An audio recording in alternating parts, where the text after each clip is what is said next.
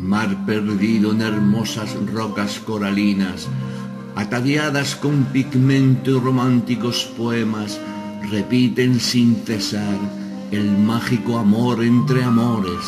Inmenso e hipnotizado estoy ante la sutil belleza, ante la señorial elegancia de tus ademanes.